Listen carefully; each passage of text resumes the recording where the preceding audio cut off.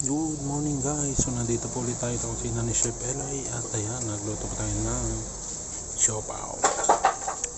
Na siopaw asado. So thank you for watching po. Siyempre ingredients natin siopaw. Cooking time po natin 3 to 5 minutes. So 5 minutes sakto.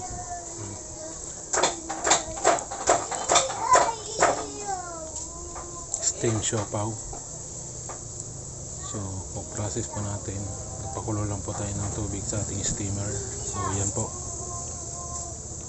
Easy easy lang. So, thank you for watching guys. Yum yum yum.